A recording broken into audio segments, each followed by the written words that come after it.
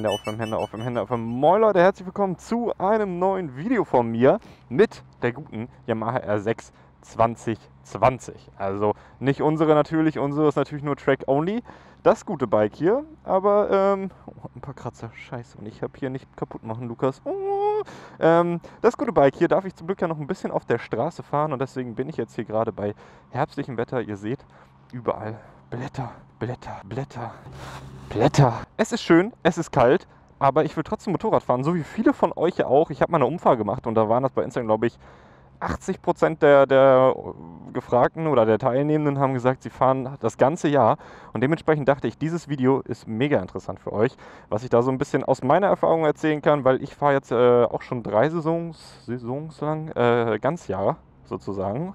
Und äh, da ich mich jetzt diesen Winter ja auch noch ordentlich auf der Straße tum tummeln werde, da gibt es auch noch zum Livestreaming und so weiter noch ein kleines Update, dachte ich mir, ich mache ein kleines Video und zeige euch quasi einmal, wie ich so den Winter überlebe. Und ein wichtiger Punkt ist, hier ein guter Metzler M9 RR. Gibt natürlich auch andere Reifen, kennt ihr ja, Metzler ist mein Partner. Ich bin super, super zufrieden mit diesem Reifen und äh, zum Beispiel auf der Street Triple, die ich jetzt ja leider abgegeben habe, war zum Beispiel ein Pirelli Diablo Super Corsa Ding da drauf.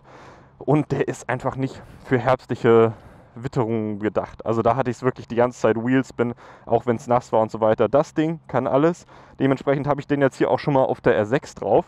Und den Rest erzähle ich euch, wenn wir ein bisschen fahren. Denn wir fahren noch einmal zum X-Store. Augen zumachen, Leute!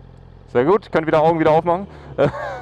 Äh, wir fahren jetzt zum X-Store, denn mir ist ganz schön kalt an den Händen und äh, auch an den Beinen und auch am Oberkörper. Denn äh, X hat mich in diesem Jahr ja unterstützt, unter anderem mit der ganzen Sommerkleidung. Ich habe hier eine Kevlar-Jeans am Start, ich habe geile Protektorschuhe am Start, hohe Schuhe am Start. Der Helm ist in Ordnung, das passt eigentlich soweit. Und halt, äh, ich habe ja noch eine Hoodie-Jacke oder die Jacke, die sind aber beide nicht darauf ausgelegt, dass es, sage ich mal, naja, für, für kalte Temperaturen. Jetzt gerade mit der Sonne geht's. Aber das wird ja nicht den ganzen Winter, beziehungsweise jetzt gerade ist ja noch Herbst, soweit sein. Das ist so quasi ein kleines Vorbereitungsvideo auf den Winter. Grundsätzlich natürlich immer Zwiebelprinzip. Also je kälter es wird, desto mehr Schichten ziehe ich mir an. Und äh, X hat ein paar geile Sachen am Start. Ich werde nämlich zum ersten Mal eine richtige Textilausrüstung bekommen. Also das hier ist auch Textil, ich weiß, aber so wie so eine Textilkombi bekommen für den Winter. Und ein mega geiles Gadget, was ich noch nicht testen konnte, weil der Akku nicht geladen war. Und zwar Handschuhe. Handschuhe mit Heizung drin, aber mit Akku. Also kein Kabel hier irgendwo dran machen oder irgendeine nervige Sache ans, ans Motorrad dran bauen. Einfach Handschuhe, beheizte Handschuhe mit einem Akku. Das finde ich voll geil und das werden wir gleich auf jeden Fall einmal testen. Und ich werde euch gleich im Xter noch zeigen, was ihr, wenn das Video draußen ist, wahrscheinlich sogar oh, wahrscheinlich sogar gewinnen könnt auf Instagram, denn X verlost äh, ein paar Helme. Richtig geil, richtig korrekte Aktion. Die gönnen tatsächlich mal richtig und äh, verschenken, glaube ich, drei Helme eurer Wahl von X. Also könnt ihr auf jeden Fall gespannt sein. Deswegen bleibt auf jeden Fall gleich dran. Da gibt es alle Infos, wenn wir im Store sind. Und in der Zwischenzeit kann ich ja vielleicht noch mal so ein bisschen was erzählen, wie ich so durch den Winter komme. Grundsätzlich hatte ich ja gerade eben schon Zwiebelprinzip, Zwiebelschichten sich anziehen ist auf jeden Fall immer gut. Eine Sache, die ich auch immer noch nicht habe, das kann ich euch nur ans Herz legen, sind Pinlock-Visiere. Das muss ich mir hier auch nochmal einbauen. Vielleicht haben die Jungs das für mich auch da. Ähm, da klebt man ja quasi ins Visier nochmal so eine Schicht zwischen. Und dadurch äh, na, ist es eigentlich nicht mehr möglich, dass dein Visier beschlägt. Was tatsächlich ab und zu ganz schön gefährlich sein kann. Äh, auch eine mega gute Erfindung. Hier hat einer einfach, kennt ihr FLM? Das sind Motorradklamotten doch, oder? Und er fährt Fahrrad. Geil. Ah, sexy. Einfach sexy das Teil. Ähm, genau, das ist auf jeden Fall auch nochmal so. Pindog-Visier kann ich nur empfehlen. Und wenn ihr ein Bike mit Traktionskontrolle habt, macht die Traktionskontrolle doch einfach einen Ticken höher. Schadet auf jeden Fall nicht bei kälteren Temperaturen. Ähm, jetzt ist hier ja voll Verkehr.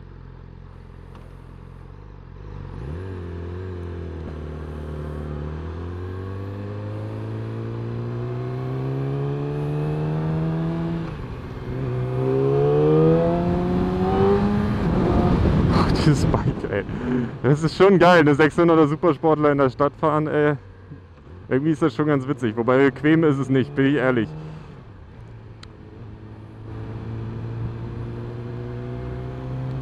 Fährt auch einfach los, ne? Wisst ihr doch im letzten Video, wisst ihr noch im letzten Video die Frau im Handy, die auch gar nichts geregelt bekommen hat? Herrlich, einfach nur herrlich. Oh, so einen Hund will ich irgendwann haben. Ein Dobermann. Ich liebe Dobermänner. Aber ich hab, darf noch keinen Hund in meiner Wohnung haben und ich habe ehrlich gesagt dann auch nicht einfach die Zeit dazu. Wo ich das ganze Laub hier sehe, das fehlt auch noch ganz interessant. Das hatte ich vielleicht im letzten Video, ne, habe ich noch nicht richtig angesprochen. Ne? Ähm, ich bin jetzt schon ein bisschen gefahren und bei den ganzen Temperaturen und bei der Nässe, also wenn dann Nässe auf, auf Laub tritt, dann kann es echt ganz schön rutschig werden. Ich habe mir mittlerweile angewöhnt, dass ich fast nur noch hinten bremse. Also ähm, wenn, wenn irgendwo Laub auf der Straße ist, probiere ich schon ordentlich über die Hinterradbremse äh, zu verzögern und nicht über die Vorderradbremse. Weil wenn dir das Vorderrad wegrutscht, dann ist halt richtig Party angesagt. Hinten kannst du ein bisschen wiggeln, beziehungsweise da kannst du einfach ein bisschen rutschen, das ist nicht so wild. Aber das kann ich vielleicht mal so als, als Tipp mit in die Runde geben. Ich habe auch mal meinen Fahrlehrer gefragt. Vor so einem Teil habe ich auch Angst. Äh, das ist auf jeden Fall eine ganz nice, ganz nice Möglichkeit, um ein bisschen Safety zu bekommen. Und ja, das vielleicht nochmal so. Oh! Das war auf jeden Fall kirschgrün, würde ich mal behaupten.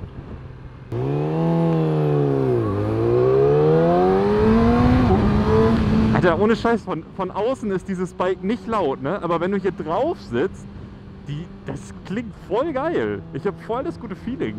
Wenn die Hersteller das so langfristig hinbekommen, dass man drauf sitzt und es hört sich mega nice an und draußen fuckt man keinen ab, finde ich das ganz schön geil.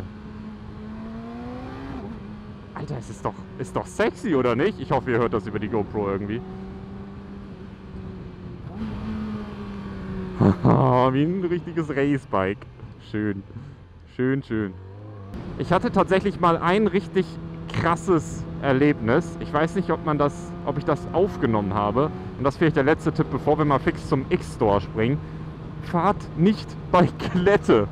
Ich, als ich die R6 abgeholt hatte, ich muss mal gucken, ob ich das noch irgendwo habe als GoPro-Aufnahme oder so.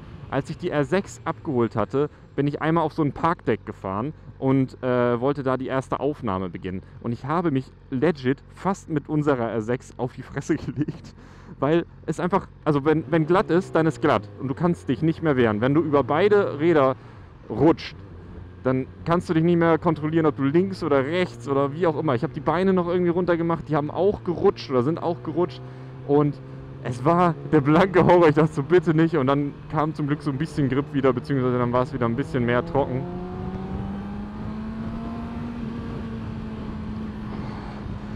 Ohne Scheiß, diese R6 macht so viel Spaß, auch in der Stadt. Ich finde, man kann super durch die Blinker gucken.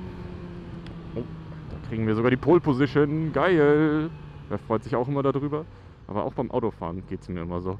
Ähm, ja, genau, also Glatteis, da fahrt ihr mal besser nicht. Ich zeige euch jetzt gleich mal diese absolut geilen Handschuhe, die werden wir dann auch gleich testen. Und äh, ja, wir sehen uns im X-Store. Let's go.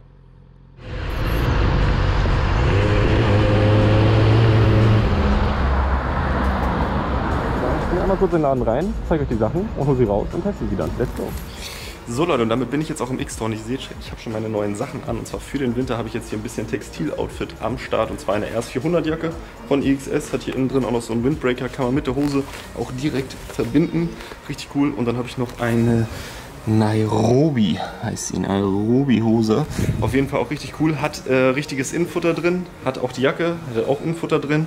Auf jeden Fall richtig fresh. Und jetzt kommen wir zu dem eigentlichen Part, was wir gleich nochmal schnell auf der Straße testen werden. Und zwar Handschuhe. Und zwar sind das meine neuen Handschuhe für den Winter. Sind ein bisschen dicker und natürlich nicht so krass sportlich wie äh, sonst meine Handschuhe. Aber ich werde damit lange Motorrad fahren können und dementsprechend auch viele Videos aufnehmen können. Weil hier, da, Battery Pocket. Da drin sind einfach Batterien drin. Ach, wie mal kurz zu zeigen. Da, da seht ihr die. Und die sind einfach angeschlossen an diesen Handschuh, hatte ich ja vorhin schon erwähnt. Kann man dann ganz entspannt aufladen, äh, aufladen einfach zu Hause. Und dann drückt man nämlich einfach hier drauf. Dann beginnen sie einfach zu heizen. Für mehrere Stunden lang. Ja, und das Ganze, da seht ihr nochmal, Äh, zwei Stunden, drei Stunden, vier Stunden, acht Stunden, je nach Hitze. Zwei Stunden auf voller Hitze, drei Stunden bei Mittel, vier bei leicht und acht bei wenig Hitze. Ist auf jeden Fall für mich komplett für, äh, in Ordnung für das, was ich machen will. Dementsprechend, wir springen jetzt wieder auf die Straße. Lieben, lieben Dank an den X-Store und äh, checkt auf jeden Fall heute auch das Gewinnspiel aus, was sich um die ganzen Helme dreht. Auch sehr, sehr fresh. Äh, ich glaube, drei Stück könnt ihr gewinnen. Drei Helme, nach eurer Wahl. Ist egal welcher. Richtig, richtig cool. Also, ab auf die Straße und wir testen nochmal schnell den Wärmehandschuh. Schon mal den Motor. Und jetzt testen wir nochmal schnell, würde ich sagen, diese Handschuhe. Ich mache jetzt einfach mal auf volle Pulle. Ist das ein Deal? So, jetzt leuchten die rot. Man kann hier auch durchdrücken. Guck mal, dann sind das die verschiedenen Wärmestufen. Ich mache jetzt einfach auf Volldampf. Einfach Vollgas. So, und ich bin gespannt, wann ich was merke und wann äh, ich wahrscheinlich nur das Schwitzen beginne. Ich kann noch ganz normal greifen, ganz normal fahren. So, guck mal, und dann können wir doch gleich hier noch legal wieder drehen. Und die Handschuhe, die heizen nicht wie, wie irgendwelche Griffe. Lull war das knapp, krank. Äh, die heizen nicht von unten, sondern von oben. Und äh, okay, ich merke es jetzt einfach schon, wie es warm wird. Oh mein Gott. Ist das geil. Okay, krass. Die halten jetzt so zwei Stunden bei dieser vollen Pulle. Das ist schon in Ordnung. Der fährt ganz verrückt Auto schon wieder. Fahren alle schon wieder ganz verrückt Auto. Und ich hoffe, damit werde ich den Winter überleben können. Alter, werden die noch wärmer? Ich beende das Video einfach, wenn die an ihrem maximalen Hitzepunkt angekommen sind. Das ist schon echt krass. Also wenn ich mir überlege, ich fahre jetzt gerade irgendwie morgens zur Arbeit oder sowas und äh, da ist es noch arschkalt, dann ist es mit denen auf jeden Fall ultra fresh. Die anderen Sachen, die ich jetzt gerade anhabe, sind mit dem Hoodie, den ich noch da unter habe, äh, auf jeden Fall auch viel zu warm. da ist gerade noch nicht die Temperatur. Ich glaube, wir haben jetzt gerade so 10 Grad oder so, aber sag, wenn das so Richtung 5 Grad geht und ich eine längere Tour habe, dann äh, ist es mit Pulli, glaube ich, perfekt von, von der Temperatur. Richtig, richtig geil. Lieben Dank an den X-Store natürlich für diese geile Partnerschaft. Und, Alter, diese Handschuhe. Leute, ich habe ja leider keine Wärmebildkamera, aber das ist schon ganz schön warm. Vor allem ist es so angenehm, nicht stechend warm oder so, sondern so richtig angenehm. So richtig angenehm von oben. Ich weiß gar nicht, wie ich das beschreiben kann. Einfach schön. Und das heizt jetzt, glaube ich, richtig schön durch meine Hand durch. Also dementsprechend Winter-Videos, Winter-Livestreams. Man munkelt, da könnte auch was kommen. Wird es bei mir auf jeden Fall geben mit dem Outfit hier. Werde ich easygoing. GG.